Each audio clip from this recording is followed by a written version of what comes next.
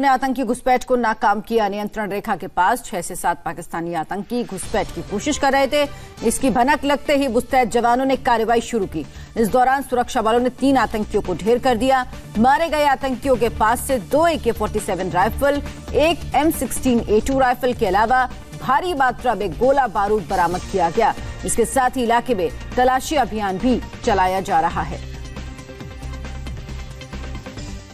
और आगे बढ़ने से पहले आपको बता दें, सुबह सात बजकर सत्तावन मिनट पर देखिए स्वामी रामदेव का स्पेशल शो जिसमें आज बताएँगे कि